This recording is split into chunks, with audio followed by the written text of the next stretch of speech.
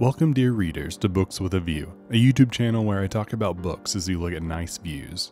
Today we'll be discussing Dennis Lehane's Sacred, about a couple of detectives racing around the country to solve a case. Usually the characters in a Lehane novel are set in and around Boston, but in this story, they venture to Florida.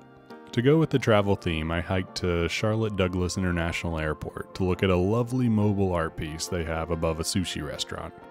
It depicts various modes and methods of aviation through the ages, so enjoy feasting your eyes on that while I gab about a dark crime thriller, and try not to get distracted by the travelers feasting on fish.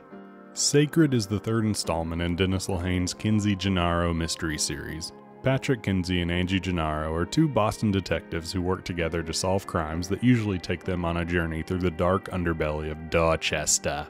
The first novel in the series, A Drink Before the War, is a solid first outing. It establishes the two leads and their working relationship pretty well. The main plot, involving missing documents about a local gang war, is suitable, if a little anonymous. The second book, Darkness Take My Hand, ratchets up the personal stakes when a serial killer threatens Patrick and Angie as they try to solve a missing persons case. It's in this novel that Lehane really finds his voice, mixing propulsive plotting with genuine moments of character growth. It also deals with much darker subject matter and treads the line between the horror and detective genres delicately. Lehane takes his characters on a wild ride, and neither of them come out unscathed. But now it's time for Sacred, the novel of the hour. In this video, I'm going to talk about Patrick and Angie's third major case together, which has them reeling from the events of the second book. So for those who read out of order, uh, stop, stop doing that. Sacred starts off similarly to another seminal work of detective fiction, The Big Sleep. Patrick and Angie are summoned by an incredibly wealthy man to his estate and tasked with untangling a conspiracy involving his spoiled daughter, who's found herself in a heap of trouble. In Lehane's version of the story, though, the daughter is likely dead. Billionaire Trevor Stone reveals that he's already hired a private detective, Jay Becker, who's also disappeared. Patrick and Angie are hired to pick up where Jay left off and to find Stone's daughter, Desiree. There's a fun subversion of the hard boiled detective trope in the first chapter. Patrick and Angie are abducted by the mysterious billionaire who's about to assign them to his case, but once the blindfolds come off and the mysterious billionaire reveals himself, Patrick cuts him short. He turns to Angie and says, How you doing? Unlike other hard-boiled detectives, Patrick isn't going to move the plot along as fast as possible. There aren't many moments in a Chandler novel where Marlowe just checks in with a friend before an imperious stranger starts an exposition dump. It makes Patrick more human and likable that he's more concerned for Angie's welfare than getting the inciting instant of the novel going. A stumbling block for a modern reader might be Patrick's sense of humor. I can recognize a fair amount of his jokes are, and I try not to use this word, but they are in fact cheesy. Being stuck in Patrick's head is a bit like listening to your dad's comedic perspective on politics and technological advancements. He makes a Mission Impossible reference to signify how futuristic it feels to see another character using a primitive version of GPS. Granted, the novel was published in 1997, so part of Patrick's humor being outdated is due to the fact that the novel itself is, well, dated. Conversely, since the main characters generally keep things light, I'm always struck by how easily Dennis Lehane can raise the danger level of any situation to unexpected levels. Early on in the story, Patrick has almost gotten away from a cult like organization when a police officer stops him and his pursuer, a member of the organization. As a reader, you think the worst outcome that could happen is that Patrick would be arrested and taken to the police station, but Lehane gives you an outcome that's far worse. The police officer asks for Patrick's ID and not only tells the goon from the organization exactly who he is, but elaborates on his case from the last novel, Darkness Take My Hand, wherein he stopped two serial killing lunatics. This not only gives the bad guys Patrick's name, but his occupation and a specific case to cross reference. In other words, he's been utterly exposed. And that's not all.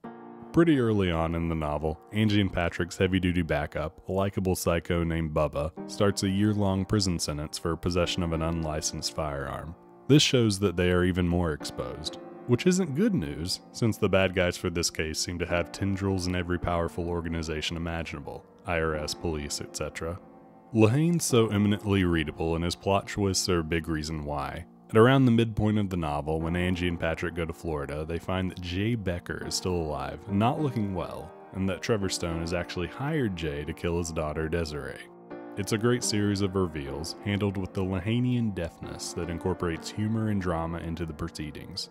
He's terrific at making sure the plot never gets too grim, even though it gets progressively more lurid. But, since Patrick and Angie are our protagonists, we the reader never feel like the train is going off the rails. Justice will more than likely prevail, even if it is a somewhat Pyrrhic victory. Midway through the novel, there's a thrilling shootout on a bridge during a rainy night. It feels cinematic in the best way possible. Lehane definitely knows how to use tropes from the world of film to get the reader to picture what's happening while keeping his characters grounded in the scene. Patrick and Angie try in vain to help someone from a vehicle that is teetering delicately off the edge of the bridge.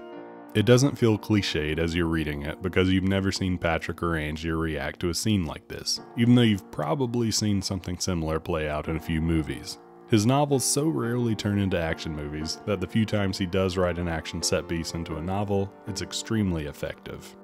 After the incident on the bridge, Patrick and Angie are being held by Florida police and hunted by Trevor Stone.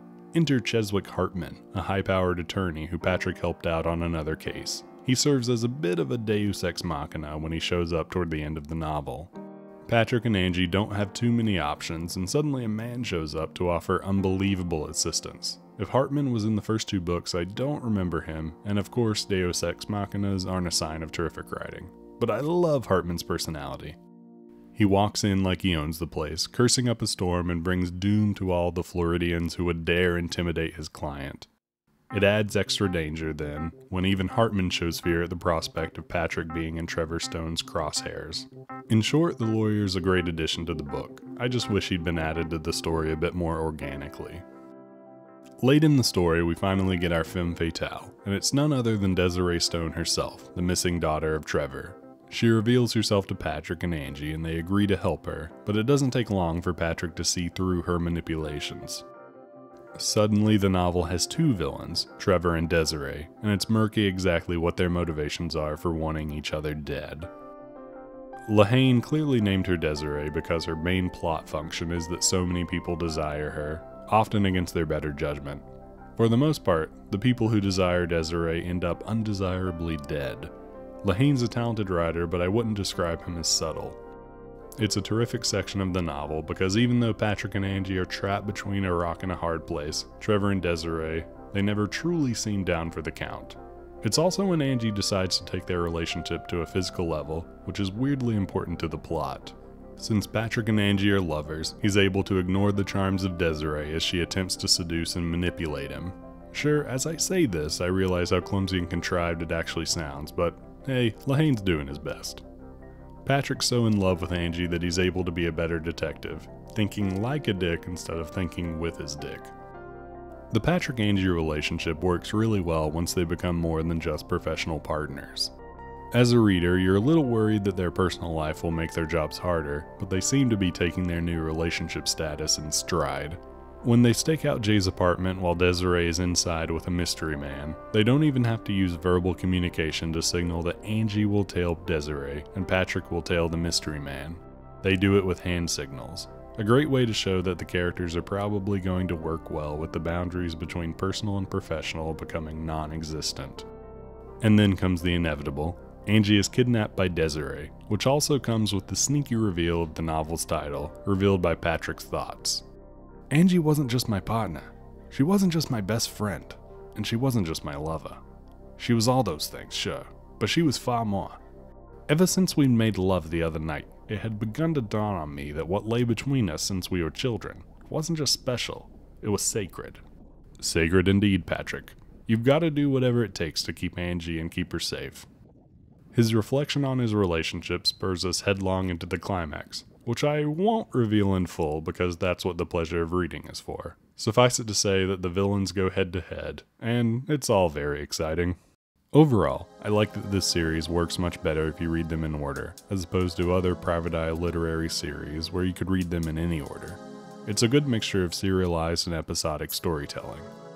I imagine the publisher probably wished the series didn't function as one continuous story, but it makes for a much richer experience for the reader. Events build on themselves in incredibly satisfying ways.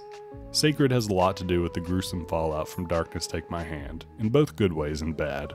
Angie, particularly, is still recovering from the physical and emotional damage she took in that book, taking a bullet from a lunatic and suffering the loss of her ex husband. In Sacred, she's really not ready for a relationship with Patrick, and he doesn't do anything to rush her. He gives her space to heal and acts as her support system. Also, the novel uses the events of the last book to bolster the reputations of the detectives. Everywhere they go in Sacred, someone always seems to point out how they figured out a terrifying serial killing spree and put an end to it themselves. Basically, they've got tremendous street cred, which is a far cry from where they started in Lehane's first book, A Drink Before the War. Side note to readers tempted to read out of order Sacred does say the name of the secret villain of the last book dozens of times, so it definitely deflates a lot of Darkness Take My Hand stakes. You've been warned. That's basically it for the book, but now I'm realizing I didn't really talk about what makes this book so distinctive from the first two. It's not really the plot or the characters, it's the setting! Lehane clearly had fun with the Florida specifics in the middle section of the novel. It's a fun choice to scoop up Patrick and Angie from their comfort zone in Boston and drop them in the grimy weirdness of Florida. Angie seems to thrive in Florida, getting an amazing tan that seems to drive every man she meets wild, and Patrick loves the seafood. I'm not sure I'd like to see them travel to another state in every other book in the series, since Dorchester is so ingrained in Lehane's DNA as an author, but for this one it's fun to see the detectives go to the peculiar peninsula. Lastly, a Kenzie Gennaro mystery has been adapted to film once in 2007, the Ben Affleck directed Gone Baby Gone. I haven't read the book yet, it's next on my Lehane list, or seen the movie, but it looks like Patrick is played by Casey Affleck and Angie by Michelle Monaghan. Both good picks for 2007, but let's see if we can't dreamcast Sacred for a 2022 adaptation. I'll pick. Chris Evans is Patrick Kenzie. He's a local Boston boy who's also looking for another franchise now that his Marvel run is over. Margot Robbie is Angie Gennaro. I have no doubt she could nail a Boston accent, and I bet she and Evans would have great chemistry. James Remar is Trevor Stone, because he's got a great bad guy's voice. Ana de Armas is Desiree Stone, She'd have a lot of fun playing both sides of Desiree's character, the innocent victim and the manipulative femme fatale. John Krasinski is Jay Becker, another Boston native who could easily play Patrick's buddy. James Spader is Cheswick Hartman, a third Bostonite who could strike fear into the hearts of Floridian cops. And Paul Walter Hauser is Bubba, because why not get another I, Tonya cast member in here? And that's all I have for you bibliophiles, so thank you for watching. If you liked what you heard, subscribe for more book reviews in the future, like the video, and comment if there are any novels in particular you'd like me to read. And as always, remember that we have a date on April 1st to watch Failsafe.